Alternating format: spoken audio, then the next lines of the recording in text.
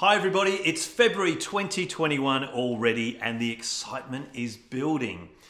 The Virtual Professional Speakers Australia annual convention is coming to you very, very soon from March the 12th to the 15th, and it's not just another Zoom call, but a full experience.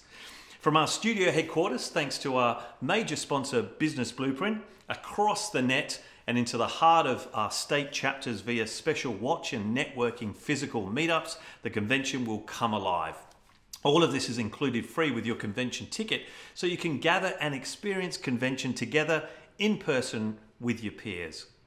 The wonderful Peter Merritt and Kieran Zerner have built an amazing four day program for you. Fantastic Friday is where it all kicks off from the retreat followed by Stimulating Saturday from the Business Lounge, Soulful Sunday from the Speaking Spa, and then it all concludes with the Magic Masterclass Monday from the Green Room.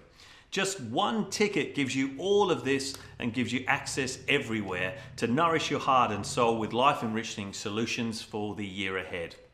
So I'm asking you to help us spread the word, reshare the socials, and invite your community to our wonderful convention 2021. And also make sure you book. Uh, make sure you do it at psaconvention.com.au. We'd love to see you there. At a state chapter level, all events for February, fingers crossed, will be physical meetups across the country.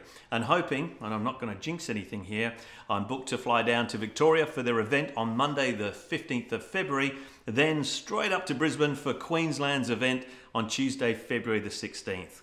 So if you haven't booked, please come and join us in person. I haven't seen much of you since uh, March last year at Convention 2020.